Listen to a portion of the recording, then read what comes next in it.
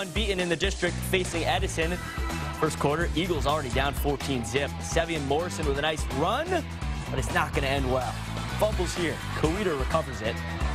Next play, Logan Hawk finds Spencer Harrington here.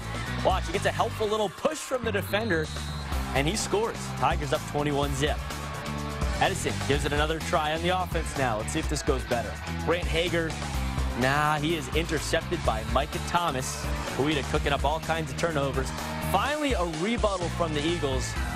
Anthony Jemerson with a pretty easy interception there. Tigers roll 49 to 6.